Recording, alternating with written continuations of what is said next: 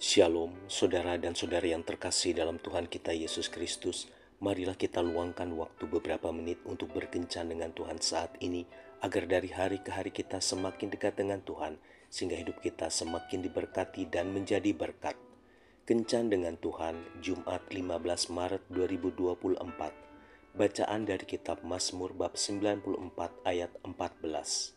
Sebab Tuhan tidak akan membuang umatnya, dan miliknya sendiri tidak akan ditinggalkannya. Demikianlah sabda Tuhan, syukur kepada Allah. Saudara dan saudari yang terkasih dalam Tuhan kita Yesus Kristus, ada seorang model sekaligus juga artis Korea yang mengakhiri hidupnya dengan cara bunuh diri. Penyebab kematiannya adalah karena dia merasa kesepian di dalam menjalani hari-hari hidupnya. Sebelum bunuh diri, ia sempat menulis di website pribadinya tentang kesepian itu. Hidup bagaikan angin. Apakah yang harus dilakukan untuk mengakhiri penderitaan ini? Pertemuan membahagiakan, perpisahan menyedihkan, semuanya itu hanya sesaat. Sebuah akhir hidup yang begitu tragis. Andai saja ia sadar bahwa ia tidak sendirian dalam menghadapi kesepian itu, ia mungkin tidak akan mengakhiri hidupnya dengan cara yang salah.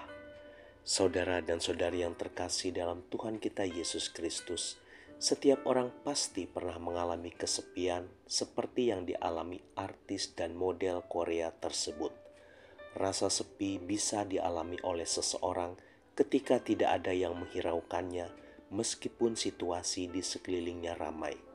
Keadaan seperti inilah yang pernah dialami oleh Yesus Rasa kesepian yang paling memilukan sepanjang sejarah manusia bukanlah rasa kesepian seorang napi yang berada di dalam bui atau kesepiannya seorang janda. Rasa kesepian yang paling dahsyat telah dialami oleh Yesus ketika dia berada di kayu salib. Perhatikan perkataannya, Allahku, Allahku, mengapa engkau meninggalkan aku?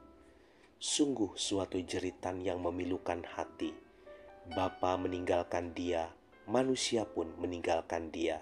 Bahkan seorang muridnya yang sok membela dia, Petrus namanya, juga meninggalkannya. Bukan hanya meninggalkannya, tetapi juga menyangkalnya. Padahal sesungguhnya keberadaan Yesus yang menjadikan Bapa dan manusia meninggalkannya adalah demi kepentingan manusia yaitu karena dia harus menanggung dosa manusia. Tidak dapat dibayangkan bagaimana hati Yesus saat itu. Dalam kesendirian itu, ia tetap bertahan sampai akhir misinya.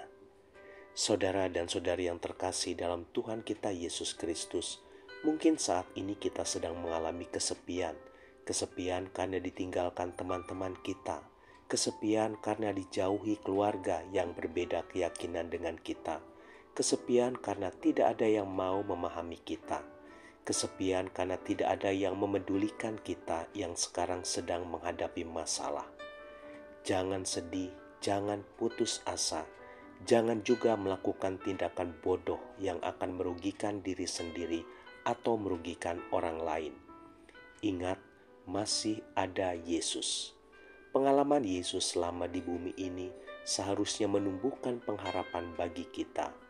Dia yang sudah merasakan kesepian yang luar biasa itu pasti memahami apa yang kita rasakan. Bukan hanya itu, dia pasti peduli dan mau menolong kita. Untuk itu, mari jaga keakraban hubungan kita dengan Yesus. Berikan kesempatan baginya untuk bertahta di hati kita Jangan gantikan tempat Yesus itu dengan perasaan dan pikiran negatif kita. Biarlah Dia yang membimbing kita dan yang memberi petunjuk untuk apa yang harus kita lakukan. Pada akhirnya, percayalah, hati kita akan menjadi penuh dengan sukacita.